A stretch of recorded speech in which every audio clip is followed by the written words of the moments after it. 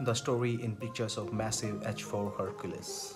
The largest wooden airplane ever constructed and flown only one time, the H-4 Hercules, nicknamed Spruce Goose, represents one of humanity's greatest attempts to conquer the skies. It was born out of a need to move troops and material across the Atlantic Ocean, wherein in 1942, German submarines were sinking hundreds of Allied ships. The plane would need to carry 150,000 pounds, 750 troops, or two 30-ton Sherman tanks. Originally designated the HK-1, the seaplane Hughes designed was absolutely massive. Weighing in at 300,000 pounds, with a wingspan of 320 feet, the plane was the largest flying machine ever built. Originally designated HK-1 for the first aircraft built by Hughes Kaiser, the Giant was redesignated H-4 when Henry Kaiser withdrew from the project in 1944. Nevertheless, the press insisted on calling it the Spruce Goose despite the fact that the plane is made almost entirely of birch. Hughes hated the nickname. He felt it was an insult to the prowess of his engineers.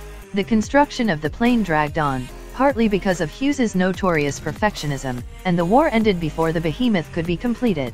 After Kaiser dropped out of the project, Hughes renamed it the H-4 Hercules.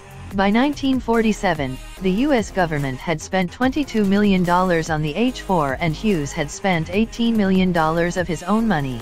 The winged giant made only one flight on November 2, 1947 The unannounced decision to fly was made by Hughes during a taxi test.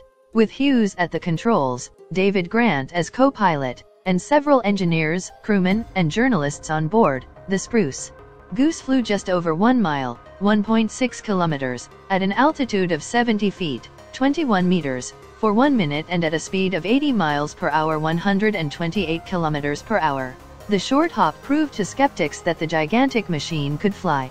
Perhaps always dreaming of a second flight, Hughes retained a full crew to maintain the Mammoth plane in a climate-controlled hangar up until his death in 1976. The Spruce Goose was kept out of the public eye for 33 years.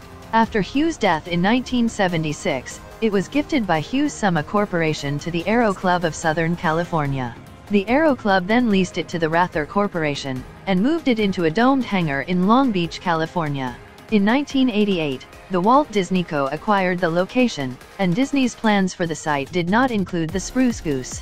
Facing the loss of its lease, the Aero Club sold the giant plane to the Evergreen Aviation Museum, now the Evergreen Aviation and Space Museum, in 1993, which disassembled the aircraft and moved it by barge to its current home in McMinnville, or. If you like this video, make sure to subscribe to my channel.